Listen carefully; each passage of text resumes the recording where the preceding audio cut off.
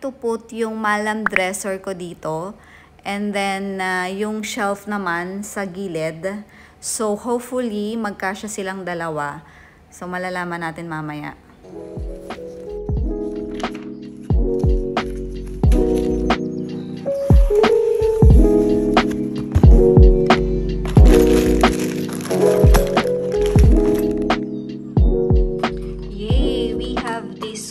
Yummy ensaymada. Thanks, Maymay. So, binigay niya to sa akin kagabi. So, nakakain na kami ni Habi. Tigi-isa kami kagabi. Sobrang sarap. Pati si Habi nasarapan din siya dito. Look at that.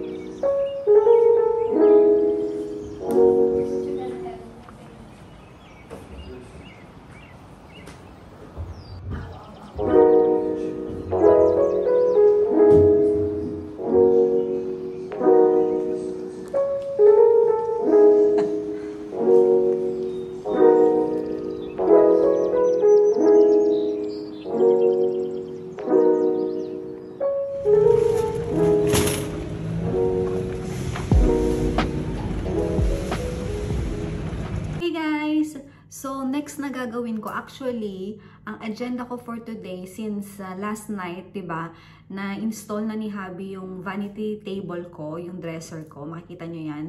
And then, yung bookshelf, na gagawin kong bag shelf. So, the next thing na kailangan kong gawin is, eto, nakikita nyo, kung nakikita nyo sa background, my God, Cole. Si Cole, bigla-bigla na lang tumatalon. Nakakagulat na lang parati tong pusa na to. So, as you can see sa background, ayan na yung mga gamit ko na nakakalat. Actually, nasa floor yan before, ba? Pero ngayon, nasa kama na siya kasi nga, kailangan ko na siyang i-organize dito sa aking bagong vanity table and aking bag shelf. So, I'm so excited for this kasi sa luma naming bahay, wala akong vanity table and wala rin akong bag shelf. Kaya ano pa ba ang hinihintay natin? Simulan na natin.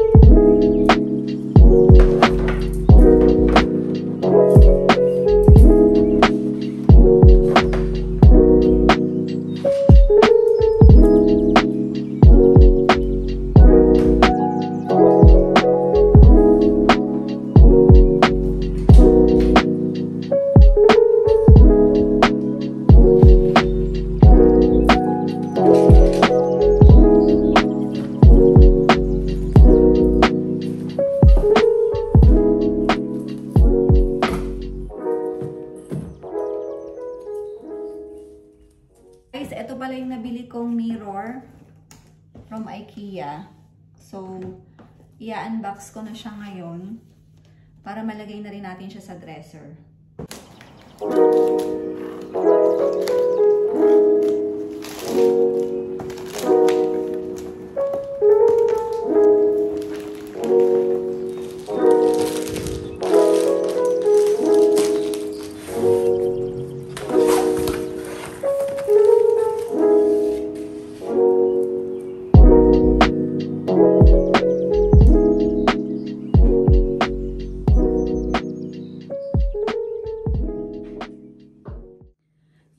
So, this is the mirror.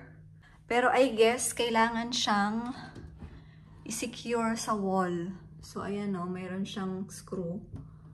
So, ipapaayos ko to mamaya kay Happy pagdating niya. Or else, gagalaw siya eh. Galaw siya. Pero I'm so happy kasi, see, wooden siya. Ganda. Ganda niya. So, I'm going to put na yung mga makeup. Ito sa lubak bahay pa to. Ganito na talaga naka-organize naman siya. Nasa loob lang siya ng drawer. So, ngayon, i-display ko na lang siya sa labas. Here, maybe. Ay, hindi siya pwede. Gagalaw siya. Yan lang.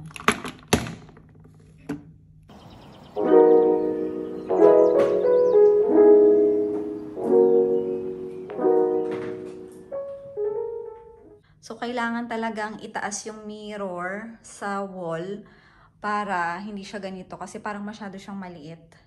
So, ipapataas ko siya kay hubby. And then this one, imo-move ko siya backwards.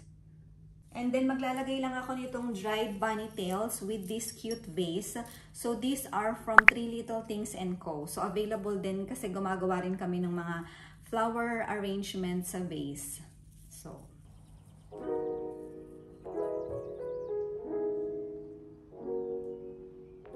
And then I'm going to put this uh, Himalayan salt lamp. So I got this from my mom. Bigay pa to sa akin ni mama.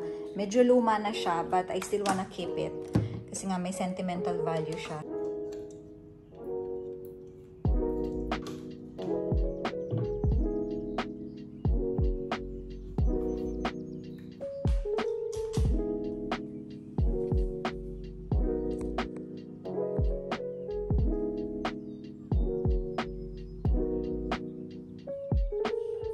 So, for the drawers, gagamitin ko to. Ay! My God. Kung naalala niyo to, dun sa isa kong vlog, so bumili ako nito pang organize sa drawer inside my toilet. So, gagamitin ko na muna sila. I got this from Homebox.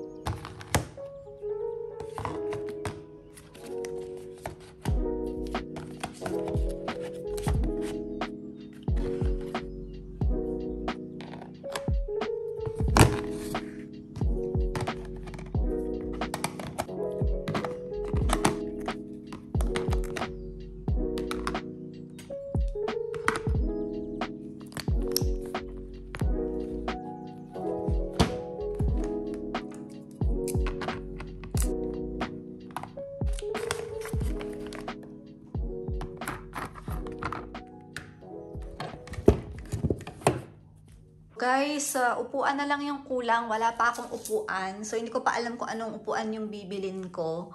So, for now, ganyan na lang muna siya. At least kahit pa paano, di ba, maayos-ayos na. And then, ilalagay ko na lang muna tong lumang side table dito sa ilalim. So, luma to from the old house pa. So, gold siya. And then, natatanggal yung takip.